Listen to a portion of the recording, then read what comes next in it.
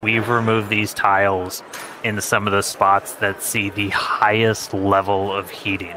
And we remove tiles that have zero backup protection underneath. So there's essentially just bare steel. It's one of the heat of reentry.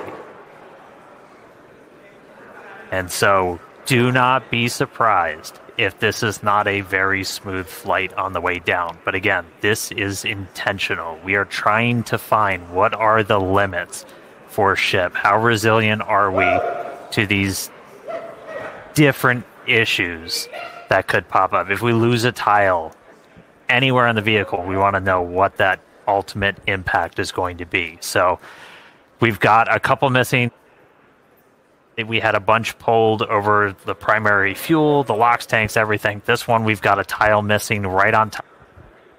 Um, so that's going to see some of the highest temperatures during this reentry, and there's just bare steel right underneath it. So we're going to see if Starship's robust enough to pull through that.